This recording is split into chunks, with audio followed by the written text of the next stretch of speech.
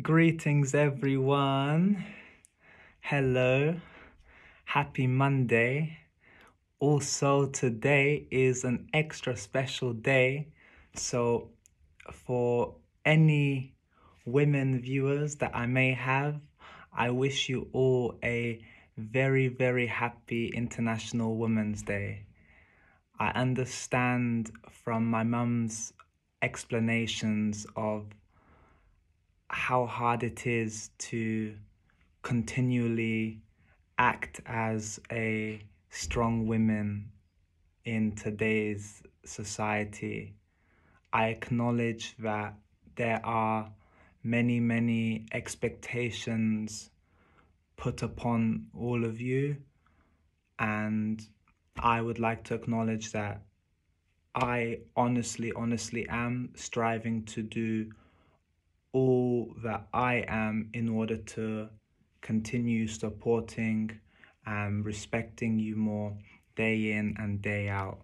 So, without further ado, on that note, today's summary is that of a new audiobook. And that audiobook now that we have begun is called Enemy is the Ego by Ryan Holiday. Yeah, Enemy is the Ego by Ryan Holiday. And this morning we done the first introductory session into it and it was most most pleasant the insights that we all got from Ryan's own writings which was further fueled through Stoic philosophy, as are his other um, additions, such as the obstacles. But to get into the specifics of today's, basically, the point of discussion that we had at the end was that the ego is self appointed. Let's all think about this for a few moments. The ego is self appointed. So what does that make you think? That it just it just is, it's just there. Yeah, that's it. That's that's how I feel too. It's just there. But when we actually think about when and how is it just there, then we begin to actually bring it out into the light. So if the ego in this instance is yourself, which it is, it is the self. However, through the perspectives in this morning and my own belief. The ego is the self that exists when the self, i.e., me or you, do not have full and utmost belief in ourselves. It is only at that time that I believe the ego, in this sense, actually lives and is able to actually live. Because you see, if you believe in yourself and your own being, then the ego cannot win, it cannot function because then you are not left in the planes of whichever environment you walk in, searching for external validation you can't, you don't. When you acknowledge yourself and your own being, you you don't you don't care for that of anything outside of your own self, outside of your internal, to validate your internal. Because I am able to validate that I am. And I am existence. Does that make sense to you? As are you, me and you, we both are exactly the same.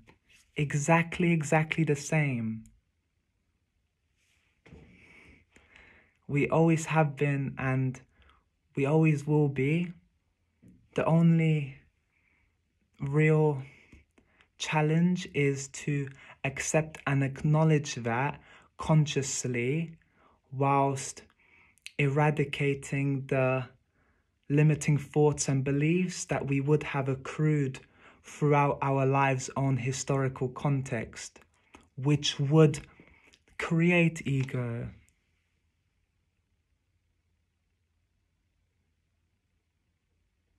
So that's what we were discussing this morning. And yeah, it's that's that's where we're at. It exists. If you if you if you don't if you don't believe and I say believe there I believe are some traits that if we live in the ego cannot cannot bear them. The ego cannot bear love hope faith. And say it with me if you're a repeat viewer and optimism. It can't it can't it cannot it cannot live. But it is hard in environments that are uncertain as in today's world it is hard and i acknowledge and i understand however every choice has its own attached outcomes. And we are able to make a choice. But every choice is tough. Um, so, with that, and no, not with that, on that note, there was something I wrote down right here at the bottom in this morning, which says, Think big, but act small. Think big.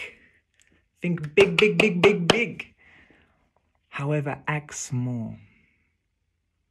And I believe this is beautifully linked to that of Ryan Noble, to that of James Clear's Atomic Habits conclusion, which was how we are able to build habits that serve our higher self.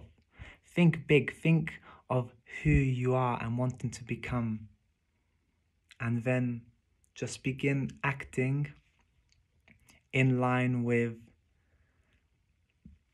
your yourself like your not too low of your abilities but not too high you know the goldilocks rule that we were talking about a few videos ago be like that.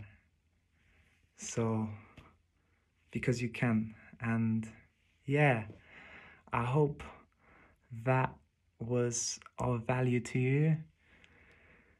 Came from nowhere else other than the heart. One take as always.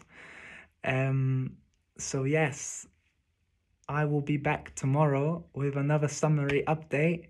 Until then, everyone, I hope you continue having a absolutely terrific day. I'm sending you lots of love. So, yeah. Ciao, ciao, ciao. Hasta luego.